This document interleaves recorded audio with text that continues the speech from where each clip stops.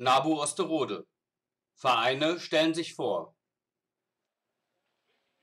Vereine stellen sich vor ist ein Projekt des Stadtmarketings der Stadt Osterode am Harz. An den Samstagen vom 28. Juli bis zum 6. Oktober 2012 stellen sich auf dem Martin-Luther-Platz Vereine der Stadt vor. Ja, guten Morgen, liebe Osterroder und Osterröder. Wir stehen hier heute, Vereine stellen sich vor, ein Infostand des NABU Osterode zum heutigen Samstag. Von um 9 bis um 13 Uhr informieren wir hier über Tier- und Artenschutz und äh, ja, sind für die Bevölkerung da, um ein bisschen Informationen, auch neue Mitglieder zu werben und auch äh, Werbung für unsere neue Jugendgruppe zu machen. Der grüne Ausstellungspavillon befindet sich neben dem Eingang der St. Egidienkirche und profitiert bei diesem Standort deutlich von dem parallel stattfindenden Wochenmarkt auf dem Kornmarkt. Natürlich waren wir vom NABU Osterode direkt dabei und haben der Öffentlichkeit unsere lokalen Projekte und die Arbeit des NABU insgesamt näher gebracht.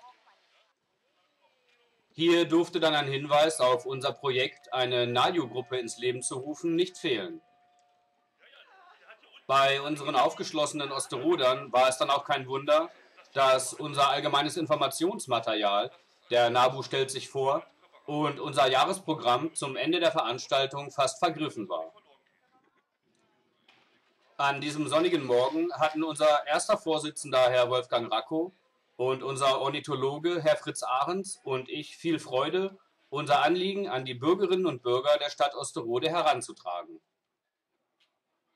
Ich bin mir also sicher sagen zu dürfen, dass das Projekt Vereine stellen sich vor vom Stadtmarketing Osterode ein tolles Konzept ist, bei dem der NABU Osterode sicher auch in Zukunft wieder dabei sein wird. NABU Osterode e.V. Abgunst 1 37520 Osterode am Harz Sparkasse Osterode Bankleitzahl 263 510 15 Kontonummer 804 99